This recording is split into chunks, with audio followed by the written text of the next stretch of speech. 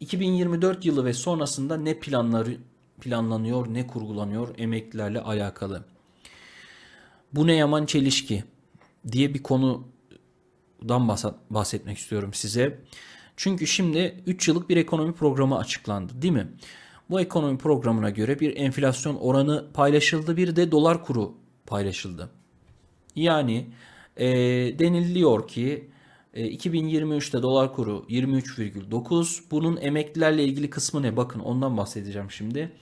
2024 yılında bu rakam 36,8 olacak dolar kuru. 2025'te 43,9 olacak. 2026'da 47,8 olacakmış dolar kuru. Enflasyon ne olacakmış? Enflasyon da 2023'te %65 iken 2024'te dolar kurunun 36'lara çıktığı bir ortamda %33'e inecekmiş. E, 2025'te dolar kurunun 43-44 liralara çıktığı bir yerde 15,2'ye düşecekmiş. 2026'da 47,8'lere çıktığı dolar kurunun bir e, noktasında 8,5'lara enflasyon inecekmiş değerli izleyenler. Bu şekilde olacakmış yani. Nasıl olacak peki? Nasıl yapılacak? Ee, Hakan Kara'nın dünkü yayında kısaca bahsettiğim önemli bir isim bakın. Bu meseleyle ilgili çelişkiyi sorduğu bir konu var. Bunun içerisinde e, enflasyon üzerinden maaş alanları ilgilendiren bir bilgi var. Hakan Kara ne demişti? Döviz kurunun bugünden sonra doğrusal olarak OVP'deki 2023 ortalamasının gerçekleşeceği varsayımı altında raporda ima edilen yıl sonu dolar TL kurunun 29,9 olduğunu söyleyebiliriz. Aynı mantıkla gidersek 2024 yılı yıl sonu için ima edilen dolar kuru da yaklaşık 43 lira oluyor. Bu da dolar TL'de yıllık %44 artışa tekabül ediyor. O zaman gelsin soru.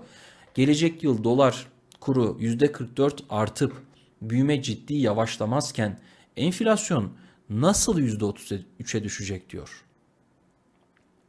Yani bir yandan hayat pahalılığı devam edecek. Dolar kurunun artması işte akaryakıt zammına sebep olacak. Akaryakıt zammı marketlerdeki fiyat artışına sebep olacak. Bunun dışında ham madde üretiminin e, artışına sebep olacak. O bütün her yere yansıyacak. E burada %44'lük artış var ama enflasyon düşecek. Peki e, bu nasıl gerçekleşecek? Enflasyon nasıl aşağıya inecek? E şimdi emekliler enflasyon üzerinden maaş alıyor biliyorsunuz. Enflasyon düşecek, hayat pahalılığı artacak. E, o zaman şu mu oluşuyor? Burada planlanan, kurgulanan şey yine şu mu? Seçimi atlatalım, seçim bitsin. Seçim de bittikten sonra kardeşim e, şu ol, oluşsun. Biz yine daha önce yapılmamış gibi konuşmuyorum. Yapıldığı için söylüyorum. TÜİK enflasyon %100'lerdeyken daha doğrusu aylık söyleyeyim size. İşte aylık TÜİK enflasyon %20 açıklanıyorken TÜİK 3 açıklıyordu, 4 açıklıyordu. Farazi söylüyorum, tam rakam söylemiyorum. O zaman yine aynı şeyi mi yaşayacağız? Buradaki düşen enflasyon TÜİK'e göre mi düşürülecek? Ee, bu neye sebep olacak? O zaman 2024 yılında düşük TÜİK enflasyon, e, düşük enflasyon oranları açıklanacak ve bu enflasyon oranlarıyla da Örnek veriyorum emekliye ilk 6 ayda %30 zam verilmesi gerekirken %15 verilecek. İşte %50 zam verilmesi gerekiyorken %20 zam verilecek. Yine burada bu mu planlanıyor? Bu da işin başka bir yüzü, başka bir tarafı. E, tabii şimdiden gelecekle ilgili konuştuğumuz için çok kişinin dikkatini çekmemiş olabilir.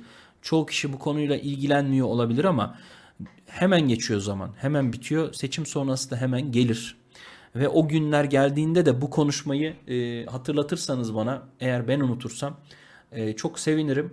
E, belki de böyle bir plan program yapıyor. Yani burada bir kafa karışıklığı. Dolar kuru artarken enflasyon düşecek. Kime göre düşecek? TÜİK'e göre düşerse bu emekliye negatif anlamda yansıyacak değerli izleyenler. Peki